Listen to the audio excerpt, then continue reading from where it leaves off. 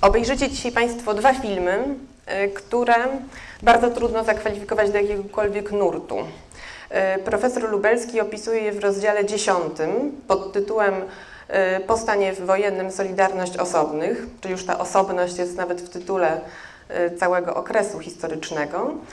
I jeszcze pisze na dodatek w nich y, w rozdziale y, kino osobne i w podrozdziale inni autorzy. Czyli są to najbardziej nieklasyfikowalne filmy chyba w całym naszym y, semestrze. Niemniej jednak mają ze sobą kilka wspólnych cech. Przede wszystkim oba powstały w latach 80. po wspomnianym stanie wojennym. Oba filmy opowiadają o II wojnie światowej. Akcja kartki z podróży rozgrywa się w getcie, e, w którymś z większych miast w Polsce, natomiast e, akcja Kornblumenblau w obozie koncentracyjnym, prawdopodobnie w Auschwitz. I oba te filmy opowiedziane są inaczej, wbrew konwencjom opowiadania o tych tematach. Jednak pierwszy z nich, czyli Kornblumenblau, jest wyjaskrawiony do granic wytrzymałości, jest wykrzyczany, zbudowany z samych kontrastów. Natomiast kartka z podróży jest wyciszona, ma zwolniony rytm i opowiedziana jest prawie szeptem. Oba filmy są debiutami y, reżyserów i oba zostały zrealizowane w studiu Karola Iżykowskiego, o którym chyba tutaj Jerzy Armata na pierwszych zajęciach mówił więcej. Y, było to takie studio bardzo niezależne jak na tamte lata po stanie wojennym. Pamiętacie, że większość studiów to w ogóle zamykano y, w tamtych czasach. Natomiast w studiu Żukowskiego można by było mówić więcej, odważniej, trochę dlatego, y, że te filmy z góry były przeznaczone do, do niewielkiego rozpowszechniania i miały bardzo małe budżety. Kartka z podróży została zrealizowana chyba za jedną czwartą budżetu takiego przeciętnego filmu fabularnego. E, Leszek Wasiewicz, tutaj na czerwono zaznaczyłam te filmy, które e, zrobili bohaterowie dzisiejszych zajęć, czyli Leszek Wasiewicz i Waldemar Dziki. Wasiewicz zrobił już w 1982 roku e, Wigilię 81, taki fabularny, krótkometrażowy film opowiadający o stanie wojennym. A później jeszcze przed, przed Kornblumenblauem zrobił Przypadek Hermana Palacza, z kolei dokument inscenizowany, o człowieku, który palił w piecu y, w kwaterze głównej Adolfa Hitlera. Y, I zrobił jeszcze w 1988 roku y, film Kornblumenblau. Leszek Wasiewicz pracował w tym studiu i trochę w tym studiu ugrzęzł, ponieważ po tej wspomnianej Wigilii on przez, przez wiele lat nie, nie zrobił sam żadnego filmu, zajął się pracą organizacyjną. Temat totalitaryzmu był mu bardzo bliski, bo to właśnie nie tylko ta Wigilia, y, przypadek Hermana Palacza i Kornblumenblau, ale także zrealizowana później Cynga, film, którego akcja z kolei rozgrywa się w obozie y, w sowieckim Łagrze. Y, Kornblumenblau był jego y, fabularnym debiutem pełnometrażowym, późnym dosyć, dlatego że reżyser miał już y, wtedy mm, po, powyżej 40 lat, 41 dokładnie. Główną rolę w tym filmie zagrał Adam Kamień, choć miał zagrać inny aktor, y, z którym Wosiewicz pracował już przez pół roku przygotowując się do tej roli, ale w ostatniej chwili okazało się, że nie dostanie zwolnienia z teatru. I odszukał wtedy Adama Kamienia, którego tam zobaczył przy jakimś castingu y, do jakiegoś serialu. Y, utkwił mu w pamięci i stwierdził, że to będzie doskonała, doskonały odtwórca tej roli. I y, dla Adama Kamienia była to pierwsza ważna rola, główna w pełnometrażowym filmie i chyba najważniejsza w jego karierze. Został y, nagrodzony za nią brązowym leopardem na Międzynarodowym Festiwalu Filmowym w Locarno. Drugą ważną rolę takiego y, nadzorcy y, blokowego gra Krzysztof Kolberger, który został obsadzony przez Wosiewicza mm, trochę wbrew warunkom, bo on grał rolę wcześniej amantów, w każdym razie rolę pozytywnych postaci, tutaj, tutaj gra złego. On grał i u Barbary i u Kuca, i u Zanussiego. Zdjęcia do tego filmu zrobił Krzysztof Ptak, y, który z Wosiewiczem stale współpracował i zrobił y, zdjęcia chyba do wszystkich jego filmów. Później y, współpracował z Krzysztofem Krausem, a za Kornblumenblau dostał nagrodę za zdjęcia na festiwalu filmowym w Gdyni. Krzysztof Ptak zmarł przedwcześnie w zeszłym roku. Y, Scenariusz y, Leszek Wasiewicz napisał z Jarosławem Sanderem na podstawie wspomnień obozowych y, Kazimierza Tymińskiego pod tytułem Uspokoić sen, które wpadły przypadkiem zupełnie w ręce Wosiewiczowi. One zostały wydane w 1985 roku, także niedługo przedtem. I y, dużo pozmieniał y, w tych wspomnieniach. On właśnie dodał tego postać blokowego granego przez Krzysztofa Kolbergera. Y, Zmienił także zakończenie, ale przede wszystkim zmienił formę. U Tymińskiego nie było ani ironii, ani groteski. To były takie dosyć zwyczajnie napisane wspomnienia. Wosiewicz nadał również temu opowiadaniu muzyczny rytm, skrótowość i kondensację. Na użytek filmu wymyślił coś takiego, co nazwał rozpiętością rytmiczną. Ustalił bardzo precyzyjnie stosunek ujęcia do ujęcia są- sąsiadującego, ale także do całej sceny. Scenopis podobno wyglądał jak profesjonalna partytura muzyczna i film powstawał w dużej mierze y, na stole montażowym. Wosiewicz wspomina, że jego montażysta, kiedy kazał mu liczyć klatki i robić zrzutki dźwiękowe i ustalać właśnie ten stosunek ujęcia do ujęcia, po prostu się rozpił i uciekł. W związku z tym Wosiewicz musiał y, ten film w znacznej mierze zmontować sam za pomocą, z pomocą asystentek. Później dopiero y, poprosił o współpracę Wandę Zeman, y, która dokończyła z nim ten film i dostała również nagrodę na festiwalu y, filmowym w Gdańsku wtedy jeszcze, później był to festiwal w Gdyni. A Wosiewicz dostał nagrodę y, za reżyserię. O tym, co go zaciekawiło we wspomnieniach Tymińskiego, y, opowiedział Markowi Hendrykowskiemu. Uzmysłowiłem sobie coś, co było dla mnie wstrząsem. W takim miejscu jak Oświęcim istniał blok artystów. Byli tam ludzie, którzy żyli troszeczkę poza piekłem albo w górnych rejonach piekła, prominenci obozowi. Nagle to wszystko zrymowało mi się z istotą funkcjonowania społeczeństwa totalitarnego. Do tej pory sytuację obozową traktowano jako coś absolutnie odrębnego, co nie ma przełożenia na życie, że to jest piekło, a potem się z niego wychodzi, jest zupełnie co innego. Y, Wtedy zrozumiałem, że pewne elementy psychologii i socjotechniki stosowane w obozie dotyczą również świata współczesnego i systemów totalitarnych. I to skoncentrowanie się na tym temacie, właśnie na tej obozowej karierze, czy na, y, czy na po prostu roli artysty w obozie, y, było czymś, y, zupełnie in, było czymś zupełnie innym. Wcześniej takich tematów nie poruszano. W- filmach, które Państwo pewnie pamiętacie, czyli w ostatnim etapie Wandy Jakubowskiej i w Pasażerce Munka, pokazywano raczej okrucieństwo oprawców hitlerowskich i, i cierpienie niewinnych więźniów. Tu oczywiście to też jest pokazane, natomiast bardzo ważnym tematem jest sztuka i kariera w obozie. Ale przede wszystkim zupełnie inna i nowa była w tym filmie forma. Wosiewicz, zrobił film e, na dobrze znany temat w- w innej, nowej formie. I to, co było szokujące i diametralnie różne od poprzednich przedstawień, to był komizm tego filmu. Ironia i groteska, których podstawą jest zgrzyt, łączenie sprzecznych pierwiastków, wzniosłych i przyziemnych, pięknych i ohydnych, smutnych i wesołych. Rzeczywistość obozowa też obfitowała w tego rodzaju humor. Groteska jak była wpisana w tą, w tą rzeczywistość. Więźniowie odreagowywali codzienny koszmar właśnie w ten sposób, ale tego się wcześniej nie pokazywało, podobnie jak nie pokazywało się fizjologii, która w tym filmie jest również bardzo mocno obecna. Mm, Chciałabym Państwu pokazać jedną scenę. Wstawać, wstawać, wstawać! Wstawać! Wiewiórka, kto nie siądzie, pójdzie do pieca. Achtung!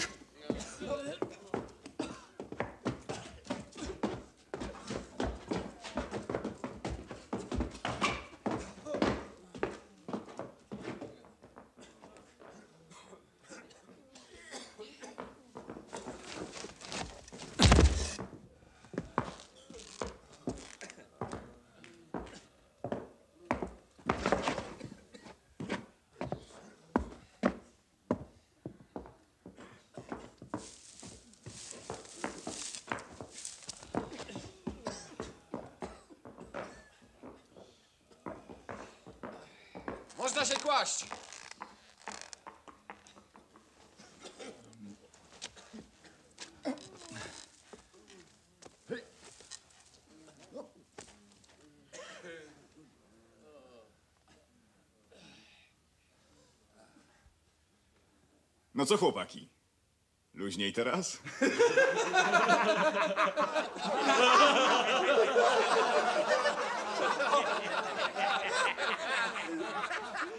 Dziękuję. Nie wygłupiaj się, miałeś szczęście, że leżałeś przy ścianie. Tara, tara, tara, ta- ole! No właśnie, jest, jest wybiórka, główny bohater jest na tyle chory, że nie ma siły wstać. W związku z tym scena zaczyna się od, na, od naprawdę potwornej grozy, prawda? Życie bohatera wisi na włosku i ta groza zostaje rozładowana, jakby spuentowana żartem i śmiechem więźniów. Do tej sceny jeszcze wrócę. Niemcy też mieli takie makabryczne poczucie humoru, na przykład uciekinierów z obozu, którzy zostali złapani, karano w ten sposób, że w przebraniu e, błazna kazano im skakać po obozie mówiąc hura, hura, jestem znowu tutaj, raz po polsku, raz e, po angielsku, e, raz po niemiecku. Mamy tutaj zresztą klasyczny przykład ironii, e, chociaż odwróconej, bo więzień mówi jedno, a myśli drugie. Więc jest tutaj ironia na tej, na tej podstawowej płaszczyźnie. Ten, I ten komiks w filmie sięga dużo głębiej, bo sięga konstrukcji samego opowiadania i formy przedstawień.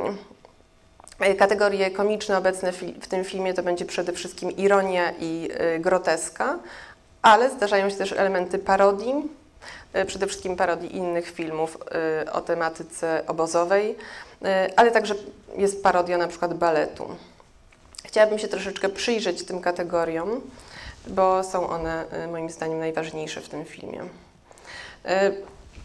Film po, po prologu, który też za chwilę Państwu pokażę, zaczyna się od motta z prób Montaigne'a, mianowicie takiego. Większość naszych zatrudnień jest natury komediowej. Trzeba odgrywać przystojnie swe role, ale z maski i pozoru nie trzeba czynić rzeczywistej istoty. Montaigne miał oczywiście na myśli normalne warunki i to, że nie należy się zbytnio przywiązywać do ról, jakie się w życiu odgrywa, czy do stanowisk i pozycji. Nale należy zachować wobec nich dystans, bo one się zmieniają i nie sięgają istoty.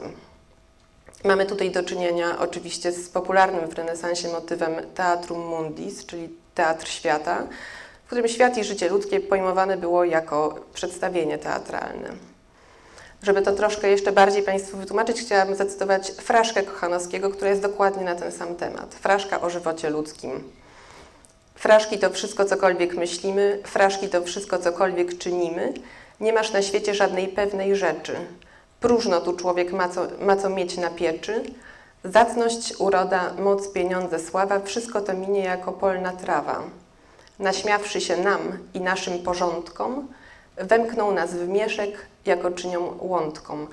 Y, Czyli naśmiawszy się z naszych tutaj właśnie tych pozycji i różnych ról, które odgrywamy, zamknął nas do wora, czyli do trumny de facto, jako czynią łądką, czyli kukiełką po przedstawieniu teatralnym.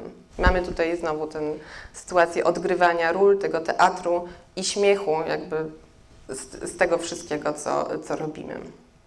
A w obozie jest to wszystko jeszcze bardziej wyolbrzymione. Tu wszystko jest względne, a umowność odgrywanych ról jest oczywista. Po pierwsze, y, dawne role tych ludzi, którzy znaleźli się w obozie, zostają im odebrane tuż po przekroczeniu bramy obozowej. Zostają ogoleni, przebrani w te same pasiaki, zamiast imienia i nazwiska mają teraz numer i ciężko ich od siebie odróżnić. Ich dawna tożsamość przestaje się zupełnie liczyć. Szybko też okazuje się, że w obozie można też mieć różne role i pozycje. Od leżącego w błocie muzułmanina do, do najedzonego i śpiącego w wygodnym łóżku artysty. Tylko, że te obozowe role są jawnie komiczne, niepoważnie na chwilę przyjęte i zmieniają się jak w kalejdoskopie. Zależą w najwyższym stopniu od przypadku, zbiegu okoliczności czy kaprysu jakiegoś kapo. Ironia, pisał Schulz, to nastrój przypominający kulisy teatralne, tylną stronę sceny, gdzie aktorzy po zrzuceniu kostiumów zaśmiewają się z patosu swoich ról. Już w samym fakcie istnienia poszczególnego zawarta jest ironia, nabieranie, język po błazeńsku wystawionym. Więc mamy już y, ironię w samej sytuacji więźniów obozowych, którzy w każdej chwili mogą zostać wyrzuceni z roli, w którą ich y, na chwilę wepchnięto. I na przykład y, zwróćcie uwagę na taką scenę, w której bohater prosto z miejsca, gdzie wykonywane są egzekucje. Jego życie wisi na włosku. To jest e, po prostu kaprys je- jednej pani, e, to, że ona go stamtąd uratowała. Prosto stamtąd, prosto z tego potwornego miejsca trafia e, w sam środek imprezy wigilijnej dla niemieckich dzieci i oficerów. I w przebraniu świętego Mikołaja wesoło przytupując gra na akordeonie. I te sceny zderzone są ze sobą na pełnej prędkości, jakby dwa samochody się zderzyły na autostradzie. Tutaj nie ma żadnych przejść, wstępów, żadnych przygotowań, tylko po prostu jest ostre cięcie. I właśnie zestawienie na zasadzie totalnego kontrastu. Mm, Ciekawe motto y, dała y, Marta Wrubel, która napisała y, dobry tekst na temat tego filmu pod tytułem Tadzikowe perypetie z totalitaryzmem.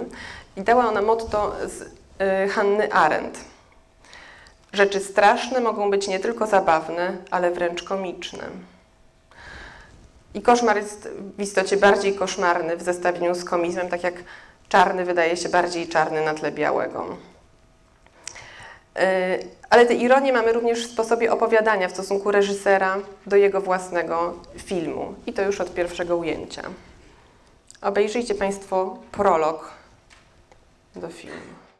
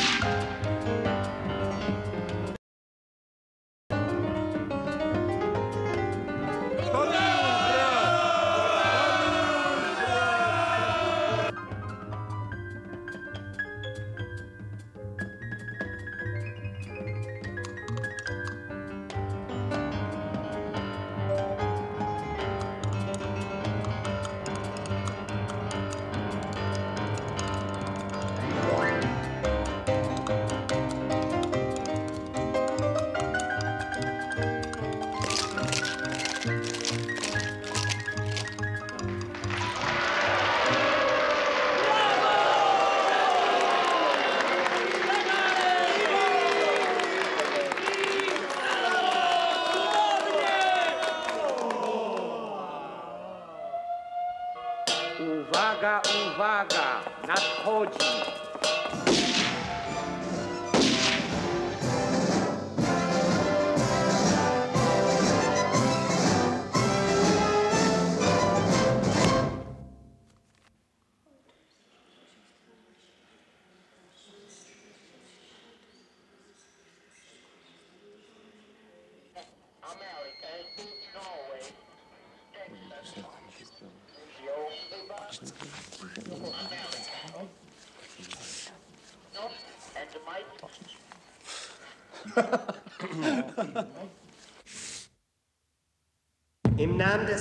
Volkes wird der Tode für die Arbeit an einer legalnej organizacji skazuje się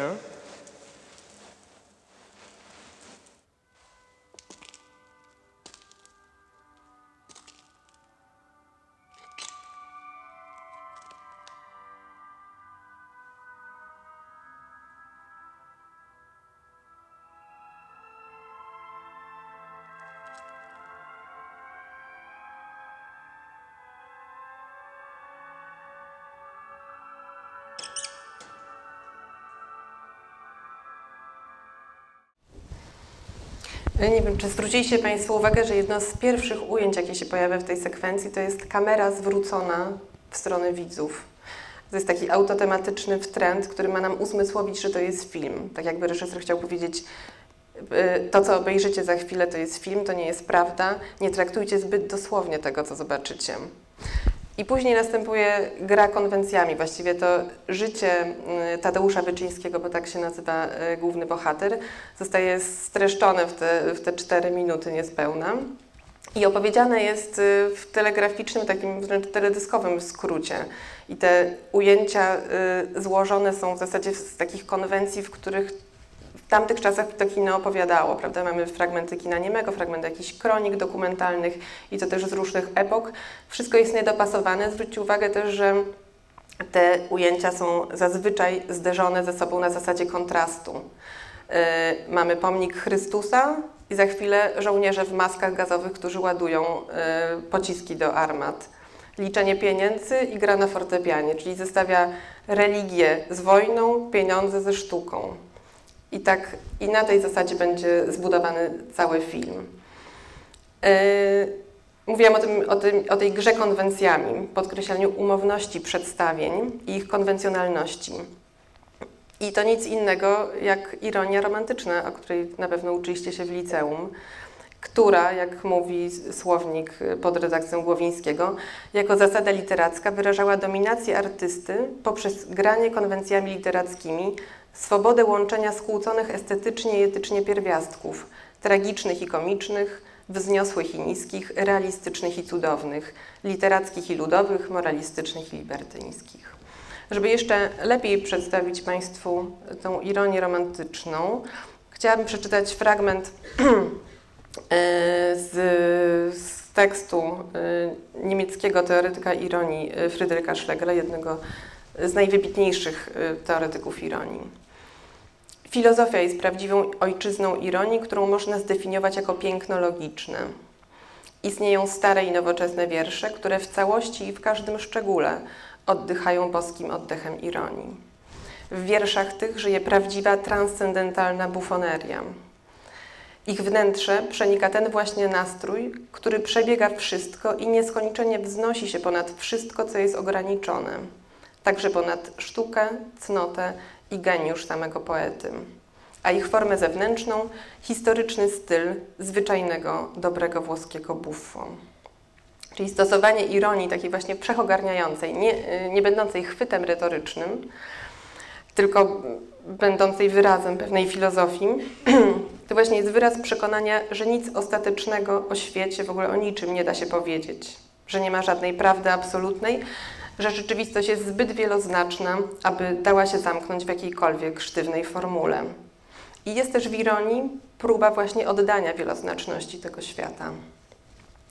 Yy, Schlegel pisał, że zewnętrzną formą tej ironii jest styl buffo i to jest coś, co on przywołuje z Commedia dell'arte, a jest to taki zwrot, uwaga do publiczności, która zrywa z iluzją fikcji. Czyli y, aktor w, tej, w tym teatrze Buffo odgrywał jakąś rolę z pełnym zaangażowaniem i nagle zrywał tą iluzję, jakby wypadał z roli, zwracał się bezpośrednio do publiczności i komentował zazwyczaj y, komicznie i złośliwie mm, to, co działo się na scenie.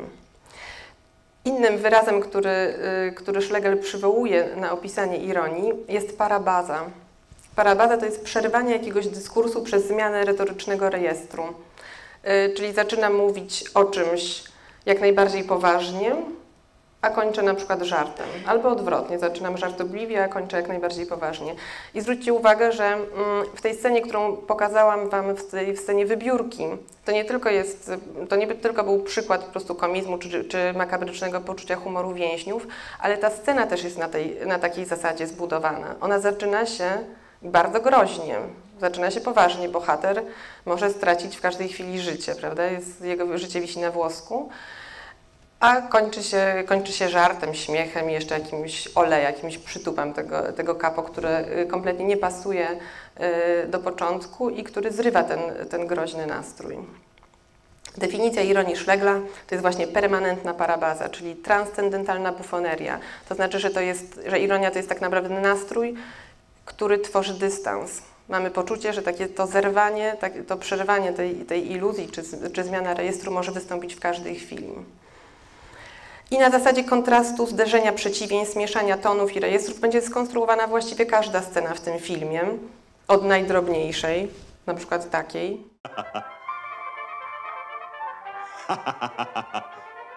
Mówię, To jest moim zdaniem kwintesencja konstrukcji y, tego filmu. Tak będzie naprawdę każda scena zbudowana, a apogeum absolutnym będzie scena ostatnia, której Państwu nie pokażę, mm, która składa się już y, absolutnie z samych, y, z samych kontrastów, z przemieszania wszelkich tonów rejestrów i konwencji, od realistycznej poprzez burleskową, naturalistyczną, groteskową, dokumentalną, operową i wszystkie wz- wzajemnie się znoszą, podważają y, i, mm, no, i, i, i pod, podważają właśnie siebie nawzajem.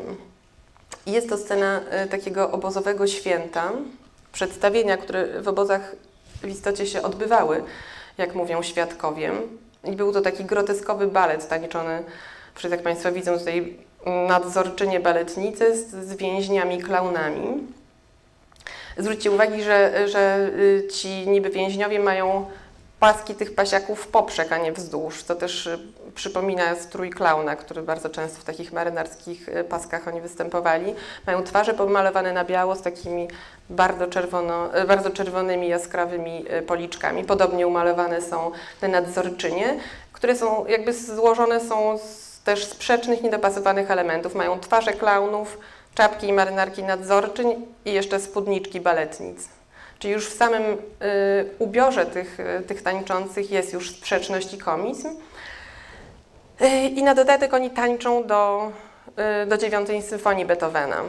Tam pojawia się Oda do radości, czyli jest to połączenie parodii baletu z najwyższym osiągnięciem sztuki. I z tym komicznym bardzo obrazem, bardzo mocnym też, zderzone są makabryczne sceny śmierci ludzi w komorach gazowych. Yy, I na dodatek jeszcze yy, te, to zestawienie yy, jeszcze jest podkreślone tym, że śmierć tych ludzi w komorze gazowym jest zestawiona z obrazem Niemców, którzy na tą śmierć patrzą, zagryzając kiełbasę i się śmiejąc. Jest to naprawdę y, jedna z, z najmocniejszych scen chyba w ogóle w polskim filmie. Scena, która po prostu nie mieści się w głowie, tak jak nie mieścił się w głowie Holokaust. Y, Sądzę, że Wosiewicz wyszedł z takiego założenia, że obóz koncentracyjny jest doświadczeniem tak nieprzekazywalnym i tak potwornym i tak niewyobrażalnym, że na pewno tradycyjne formy y, opowiadania, takie jak realizm, y, nie nadają się do tego.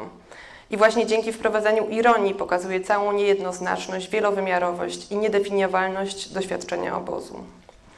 Yy, Wosiewicz mówił tak. Przede wszystkim chciałem pokazać świat przedstawiony jak najpełniej. Postaci możliwie jak najbardziej pełnokrwiste, bez deklaratywności, bez schematów mających udowodnić jakąś z góry założoną tezę. Wielowymiarowość opisu jest konieczna. w Kornblumenblau nie ma czysto pozytywnych postaci, w tym świecie ich po prostu nie ma, mówił Wosiewicz. Nie ma też y, postaci jednoznacznie negatywnych. To nie jest ostatni etap, ani nawet pasażerka Munka, gdzie są źli, niedobrzy Niemcy i dobrzy, i, i szlachetni, i cierpiący więźniowie. W Kornblumenblau widz sam musi te postaci oceniać. Y, Ta ocena absolutnie nie jest wpisana w film, nie ma tam właśnie podziału na dobrych i złych. Y, On zmusza do myślenia, zaskakuje i pokazuje paradoks, paradoksy i niejednoznaczności sytuacji i postaw ludzkich. Dlatego też ten film można odczytywać na wiele sposobów.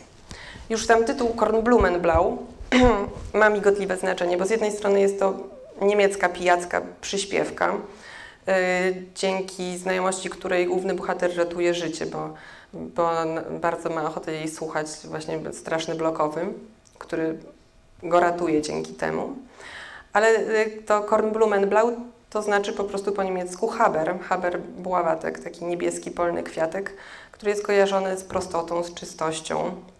I tutaj też jest jakiś zgrzyt, bo oni mówią, y, to jest po prostu przezwisko głównego bohatera, y, które do tego obozu też nie pasuje, no bo bohater kwiatkiem na pewno nie jest, nie można było być kwiatkiem w obozie, ale z drugiej strony też on jakąś czystość y, zachowuje. Także to jest też, też podwójne, pod, y, ma podwójne znaczenie y, ten tytuł. Y, Jeżeli byśmy się zastanowili, o czym jest Kornblumenblau, to na pewno y, podpowie nam y, to hasło na plakacie, czyli artysta wobec totalitarnej przemocy. To jest na pewno główny temat tego filmu, o tym zresztą mówił sam Wosiewicz. Y, Ale można powiedzieć też, że jest w ogóle o totalitaryzmie i o, o, o człowieku postawionym w sytuacji ekstremalnej. Jest też o człowieku, który zrobił karierę w obozie. Można powiedzieć, że jest o nędzy sztuki, tak jak głosił to y, tytuł artykułu Mirosława Przylipiaka. Ale ja bym powiedziała, że też można by było ten film interpretować jako film o człowieku, który potrafił uśmiechać się nawet w obozie. Bo y, główny bohater ratuje życie nie tylko dlatego, że umie grać na akordeonie, ale też bardzo często y, dzięki temu, że się uśmiechał i to uśmiechał się nie do kogoś, nie w jakimś interesie czy w jakimś celu, tylko uśmiechał się po prostu do życia. Yy, Czyli ten Tadeusz robi rzeczywiście coś takiego yy, jak kariera w obozie, właśnie dzięki swoim yy, umiejętnościom muzycznym. Trafia do bloku artystów, którzy, yy, którzy ci artyści w obozie, co mówi jeden ze współwięźniów i nawet też jest artykuł pod, pod takim tytułem, są wobec tych ludzi, którzy codziennie tysiącami idą do gazu, jak karaluchy w złotych pancerzykach. Oni przygrywają i umilają czas katom. Jest w tym na pewno coś ohydnego i coś niemoralnego. Z drugiej jednak strony mają cały czas przystawiony pistolet do głowy. Oni nie robią tego dlatego, że mają na to ochotę, tylko dlatego, że jeżeli odmówiliby wykonywania tej pracy, bo sztuka dla artystów to też jest praca, yy, zostaliby zamordowani. Y, Natomiast praca artysty jest, była zawsze i wszędzie i także w obozie y, uważana za coś wyjątkowego. Prawda? Artysta wkłada y, w tą pracę duszę, y, ma mówić coś więcej niż, niż przeciętny człowiek, ma być jakimś przywódcą duchowym, w związku z tym jest też dużo surowiej oceniany. I jeżeli wykonuje y, czy uprawia sztukę dla oprawców, jest to głęboko niemoralne. Mm. No i y, wiąże się też to z tym, że oni po prostu mieli dużo, dużo lepsze warunki i też mogli się czuć w związku z tym trochę w niekomfortowej y, sytuacji. Zwróćcie, i to na pewno podkreślał Wosiewicz, na pewno było jego intencją pokazanie takiej, takiej dwoistości postawy tego, y, tego głównego bohatera. O czym jeszcze za chwilę powiem. Zwróćcie uwagę na, na scenę, w której on spotyka się z dawnym y, swoim, ze swoim przyjacielem, dawnym towarzyszem niedoli, któremu powodzi się akurat y, trochę gorzej. Jest to scena Wigilii.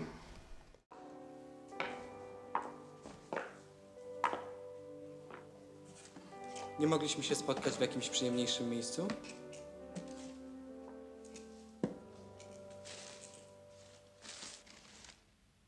Przyzwyczaiłeś się do salonów? A wiesz, że wczoraj padł rekord? W ciągu jednej doby udało się zagazować i spalić 25 tysięcy samych Żydów. Widziałem ludzi z tego transportu. Była tam baletnica. Szkoda, że nie nawinąłeś się szkopą pod rękę. Pewnie byś im zagrał z okazji pobitego rekordu. Nawet nie wiesz, co powiedzieć, co? A co mam kurwa powiedzieć?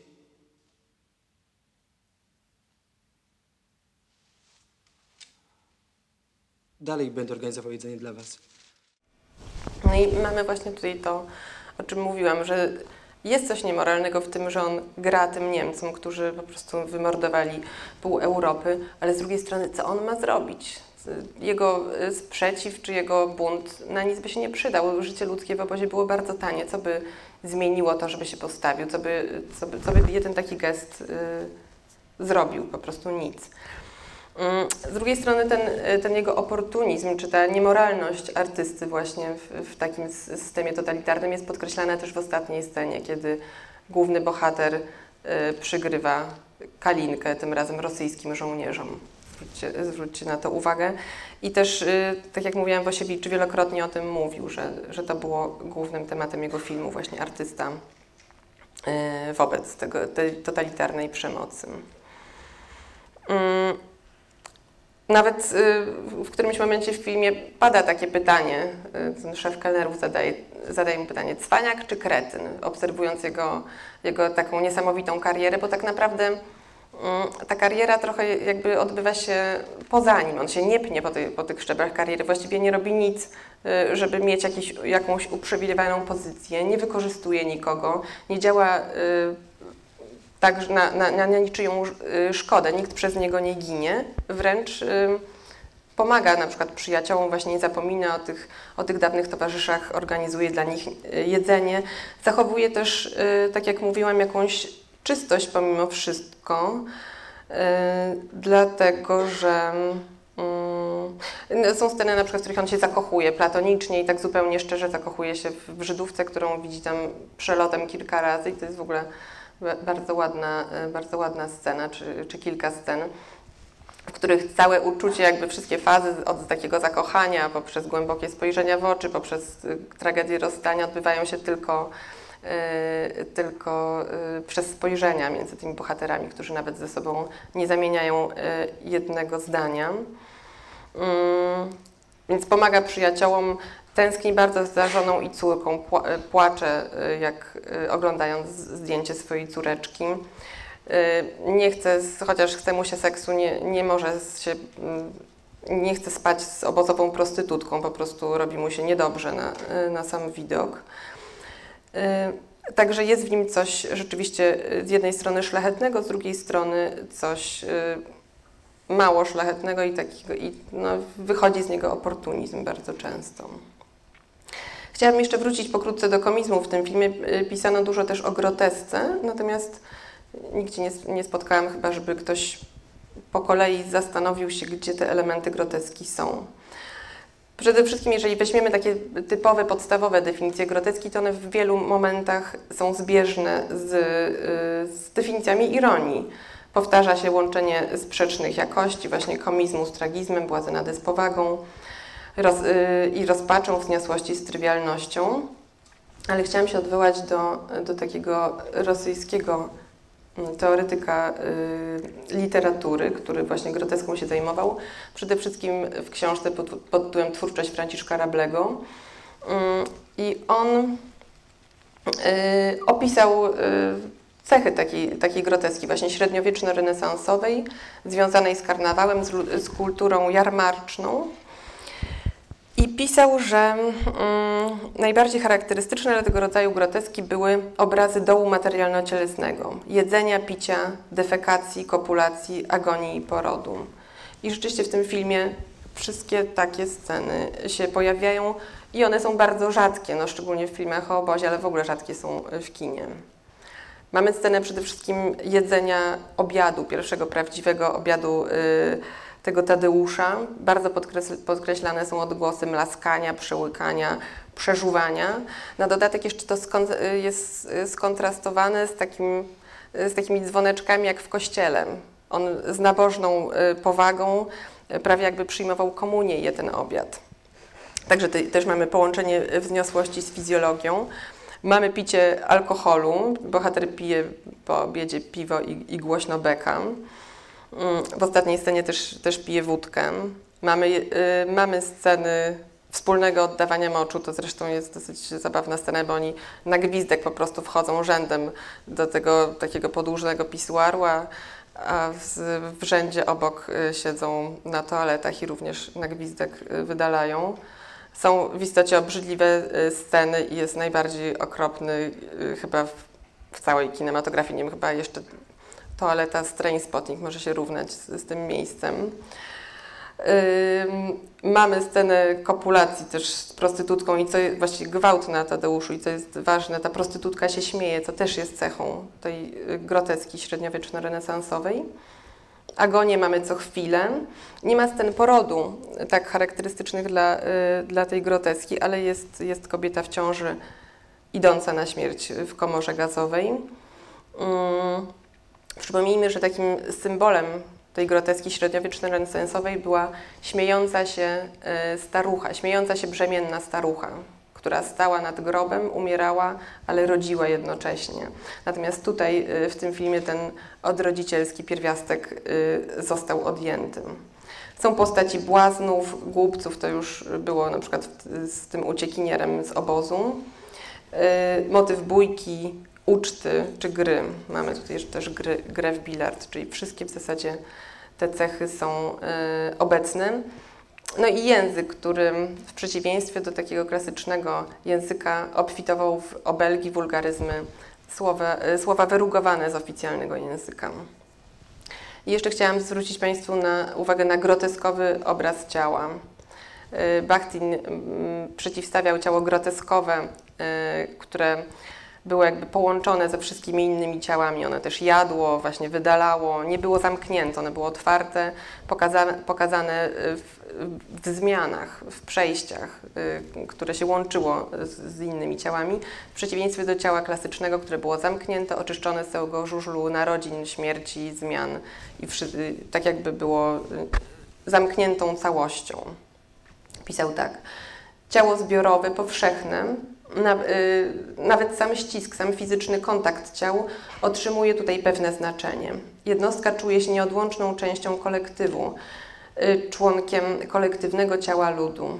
Indywidualne ciało przestaje do pewnego stopnia być w tej całości sobą.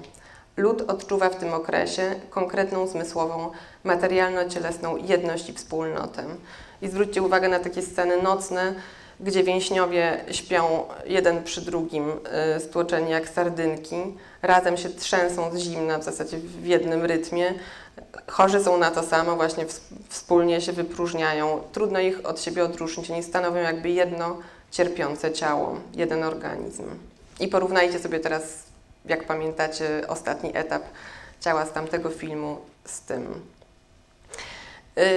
W wielu y, miejscach ta groteska bardziej przypomina romantyczną, o której też pisał Bachtin. On w tej książce daje taki wstęp i opisuje historię groteski, bo on uważa, że groteska to jest y, kategoria, która jest zmienna historycznie. Inna była w średniowieczu, inna była w romantyzmie, inna jest y, współcześnie. Świat groteski romantycznej był świat, który stał się obcy, groźny i niezrozumiały. Śmiech w grotesce romantycznej został zredukowany, przybrał formy humoru, ironii, sarkazmu. Przestał być radosny i triumfalny. Pozy y, pozytywny odrodzicielski moment pierwiastka śmiechu uległ ograniczeniu do minimum. Niweczący humor nie jest skierowany przeciwko pojedyn pojedynczym negatywnym zjawiskom rzeczywistości, ale przeciwko całej rzeczywistości, przeciw y, całemu skończonemu światu w jego całokształcie. Ten czarny humor przekształca świat w coś obcego, coś strasznego i nieusprawiedliwionego. Tracimy grunt pod nogami, czujemy zawrót głowy, ponieważ nie widzimy wokół siebie nic, co byłoby trwałe. I na tym chciałam zakończyć yy, część o Kornblumenblau. Uważam, że ta, ta groteska romantyczna chyba najbardziej tutaj, szczególnie filozoficznie, oddaje temat tego filmu. Yy, Przejdźmy do, do kolejnego filmu, y, czyli Kartki z podróży. To jest film opowiedziany w zupełnie innej konwencji, cały w jednej tonacji właśnie, bez żadnych przeskoków, bez żadnych kontrastów, cichy, skupiony, o powolnej narracji i oddający właśnie ten jeden nastrój, mianowicie nastrój narastającej grozy i osaczenia. I jedno uczucie właściwie, uczucie potwornego strachu, który główny bohater próbuje jakoś poskromić i opanować. Akcja toczy się w getcie, Żydzi czekają na wezwanie do transportu do Auschwitz. Taka, taka jest sytuacja opisana w tym filmie. Waldemar Dziki, mm, przedwcześnie zmarły w zeszłym roku, miał podczas realizacji tego filmu 27 lat.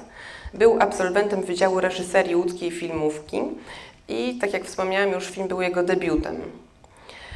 I został zrealizowany również, podobnie jak Kornblumenblau, we wspomnianym studiu Karola Iżykowskiego. Kartka z podróży została nagrodzona na Festiwalu Polskich Filmów Fabularnych, wtedy jeszcze w Gdańsku, brązowymi lwami. I było to chyba największe osiągnięcie tego reżysera. Później Waldemar Dziki realizował filmy przeznaczone dla młodej widowni, takie jak Cudowne Dziecko, y, Lazarus czy Pierwszy Milion. Do tematyki żydowskiej wrócił jeszcze na chwilę w takim spektaklu telewizyjnym Nadludzka medycyna. W latach 90. za- zajął się produkcją filmową, a później objął y, stanowisko szefa y, stacji telewizyjnej Ukra- na Ukrainie.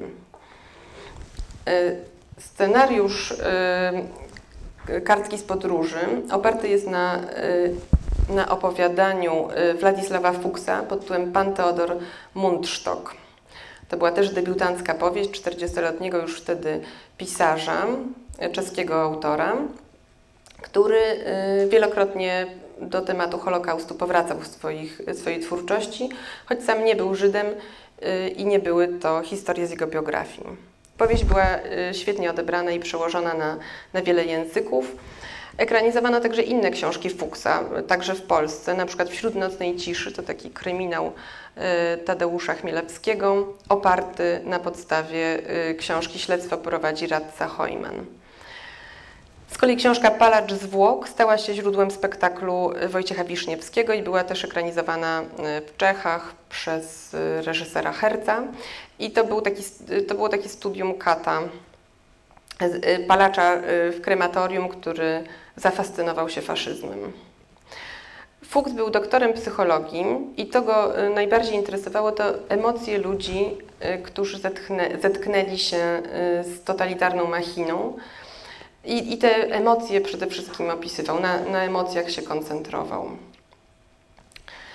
Waldemar Dziki w rozmowie z Markiem Hendrykowskim przyznał, że nie dostał zgody Fuksa na ekranizację tej powieści. I pytał go Hendrykowski, czy to dlatego twój bohater nazywa się Rosenberg, a nie Mundsztok? Yy, Waldemar Dziki, dokładnie tak. Nie mając pisemnej zgody pisarza, próbuje stworzyć coś, co jest prawnie dozwolone, a co nazywa się inspiracją na motywach. Piszę swój scenariusz na bazie książki praktycznie od nowa. Yy, Pozbywam się wszystkiego, co jest blisko powieści. Zostaje główny temat. Historia człowieka, który przygotowuje się do własnej śmierci. Rdzenie jest ten sam. Akcja filmu, tak jak mówiłam, y, rozgrywa się y, w getcie, w, którymś z polskich miast, nie wiadomo dokładnie w którym. Y, W książce Fuksa to była Praga. Mm, Nie wiemy dokładnie w którym, dlatego że sceny rozgrywają się przede wszystkim we wnętrzach, bardzo rzadko y, na ulicach, a jeżeli już, to te ulice mm, pokazywane są to, to są jakieś anonimowe po prostu mury, jakieś szare podwórka obdrapane. Nie są to żadne, żadne charakterystyczne y, miejsca. Jest to obraz samej y, społeczności żydowskiej, co jest bardzo rzadkie w- wśród polskich filmów, które opowiadają o Holokauście, bo one zazwyczaj opowiadają właśnie o stosunku Polaków do Żydów. Y, Tutaj Polaków nie ma w ogóle, a Niemców y, prawie również nie ma. Jeżeli oni się pojawiają, pojawiają się w ostatniej scenie na chwilę, ale, ale czuć ich obecność, y, właściwie słychać ich, to jest w ścieżce dźwiękowej tylko pojawiają się jakieś odgłosy strzałów, czy szczekania psów, czy odgłosy marszu, butów o bruk. Mm, I obserwujemy raptem kilka osób, głównego bohatera i jego znajomych. Wszyscy czekają na wezwanie. Na wezwanie, czyli nakaz do stawienia się w danym miejscu, z którego odjeżdżały pociągi y, do Auschwitz. Czyli czekają de facto na wyrok śmierci, chociaż słowo obóz koncentracyjny, komora gazowa nie, nie pada w tym filmie ani razu. Też ci ludzie dokładnie nie wiedzieli, co ich czeka. Oni się tylko domyślają, co jeszcze bardziej potęguje ten nastrój grozy i takiej niepewności.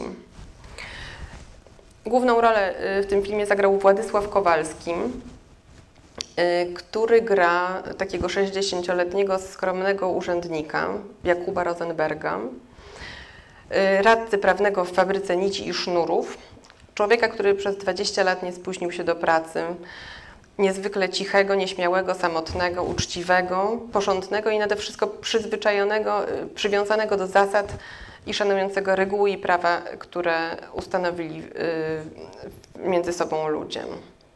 I ten spokojny człowiek musi jakoś stawić czoła jakoś zachować się wobec tej nadciągającej nieubłagalnie y, zagłady.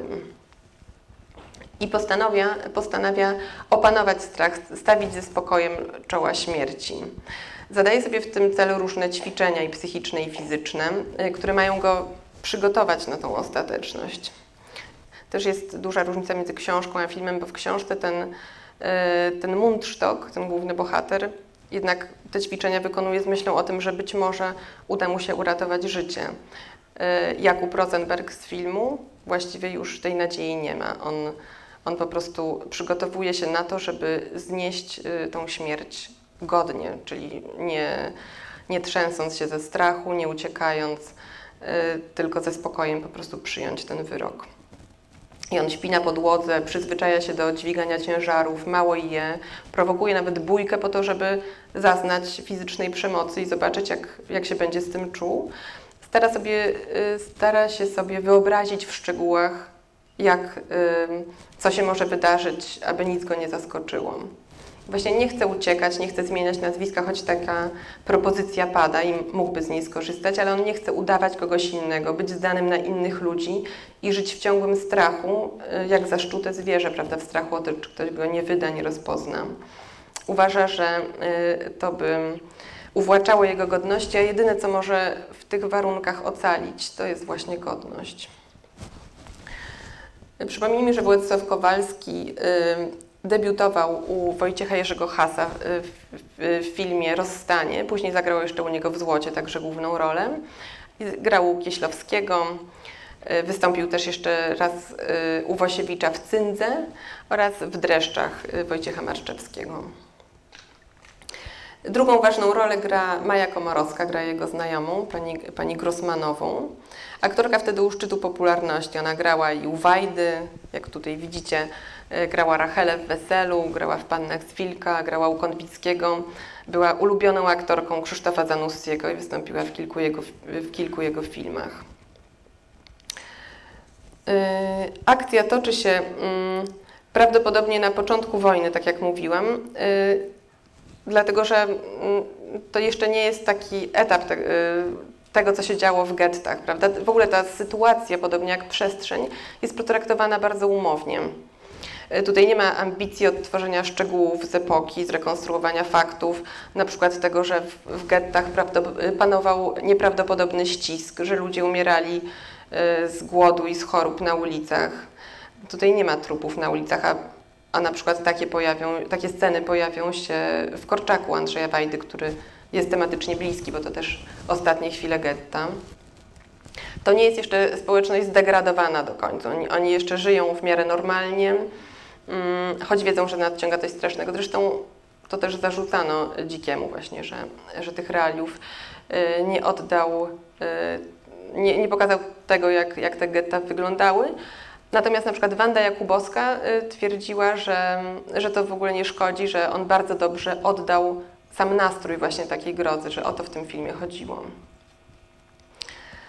Yy, I bohaterowie otaczający, jest ich naprawdę kilka, y, jest to kilka osób, tak jak mówiłam, ale o części się wspomina, na przykład wspomina się, że ktoś popełnił samobójstwo, y, że ktoś tam próbował uciec za granicę. Ci ludzie, którzy czekają na ten wyrok, zachowują się wobec tej zagłady bardzo różnie. Y, Chciałam Państwu przypomnieć, że na temat Holokaustu powstało w Polsce w latach 45-2010 raptem 18 pełnometrażowych y, filmów kinowych, fabularnych. Y, I bardzo dobra jest książka Joanny Preissner pod tytułem Kamienie na Macewie, która opisuje te wszystkie filmy, dodaje jeszcze dwa krótsze filmy telewizyjne. I właściwie wszystkie te filmy przedstawiają różną postawę Żydów wobec nadciągającej nieuchronnej śmierci. Y, Ludzi świadomych, że zaraz potworna machina ich zgładzi, że nie ma przed tym ucieczki mm, i pokazują właściwie różne style umierania. Przypomnijmy kilka tytułów spośród tych filmów. To jest przede wszystkim Ulica Graniczna Aleksandra Forda, e, film no, tuż powojenny, który pokazywał powstanie w getcie, czyli pokazywał ludzi, którzy postanowili umrzeć z bronią w ręku, bo tutaj o uratowaniu życia też absolutnie nie było mowy. To jest Samson Andrzeja Wajdy, o, o Żydzie, który z kolei ukrywał się po aryjskiej stronie, mm, ale gnębiony był y, wyrzutami potwornymi sumienia, że nie walczy y, razem z, z tymi po, powstaniami w getcie. I mamy tutaj też taki wątek, który, który trochę zapowiada, jak być kochaną Hasa, czyli miłości i romansów y, bohatera z, z kobietami, które go ukrywają. Mamy krople krwi o żydowskiej dziewczynce, która jest przekazywana z rąk do rąk i w końcu trafia do, do polskiego sierocińca. ale też jest pokazany potworny strach tej dziewczynki, to jak, jak wszyscy ją w zasadzie przekazują dalej, o, o tym jak spotyka szmalcowników, jak musi nauczyć się swojej nowej tożsamości. Mamy film Naganiacz yy, Petelskich, kto, jeden z bardziej chyba też drastycznych filmów z kolei o Żydach, którym udało się uciec z transportu i oni się ukrywają na wsiach, yy, gdzie, gdzie pojawiają się w końcu Niemcy i urządzają w zasadzie polowanie na nich jak, jak na zwierzęta. Straszny film. Jeszcze tylko ten las, również podobny o, o, o Polce, która za pieniądze y, postanawia uratować mm, żydowską dziewczynkę i też o potwornym strachu, jakie, jaki im towarzyszy, ale też o więzi z drugiej strony, jaka się między mm, tą kobietą a dziewczynką wytwarza. No i jest film Korczak Andrzeja Wajdy. Yy, Temat bardzo bliski kartce z podróży właśnie dlatego, że, yy, że odbywa się w getcie i doktor Korczak ze swoimi dziećmi również oczekuje na to wezwanie i również zastanawia się i ma dylematy moralne, co ma w tej sytuacji zrobić. Tak? Miał, pojawiają się pomysły, że może by te dzieci rozpuścić wtedy, że miałyby jakąś szansę, ale ostatecznie postanawia zaprowadzić je za rączkę do gazu. I to dlatego właśnie, żeby, żeby nie, nie bały się, żeby nie, nie cierpiały jeszcze bardziej niż. i żeby po prostu czuły, że ktoś bliski yy, z nimi jest w tej, w tej chwili śmierci. Yy, I Joanna Preisner właśnie za, zastanawia się a propos kartki z podróży, którą również opisuje w tej książce Kamienie na Macewie. Zastanawia się właśnie nad tą kwestią stylu umierania. Bo w pierwszym odruchu możemy mieć mm, różne odczucia a propos tego, że bohater, no nie wiem, nie chce walczyć, że się godzi na tą śmierć tak dobrowolnie. I Ona pisze tak. Reżyser filmu, czyli Waldemar Dzikim, dotyka tutaj niezwykle delikatnej i drażliwej kwestii. Wielokrotnie pojawiającego się wobec Żydów oskarżenia, że umierali niegodnie, ponieważ szli na śmierć jak barany. Pozwolili się mordować, nie buntując się przeciwko temu.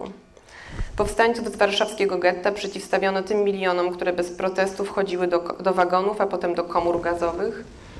A przecież o niegodnym zachowaniu w obliczu zagłady można mówić chyba tylko wówczas, jeżeli ktoś próbował przetrwać cudzym kosztem, a nie wtedy, kiedy nie miał dość siły, odwagi lub wiary, by sprzeciwić się zagładzie lub próbować przed nią uciec. I nie sposób odmówić słuszności Michałowi Głowińskiemu, gdy ten pisze. Każdy, kto umarł ze zbrodniczych wyroków, umarł godnie i trzeba to powiedzieć.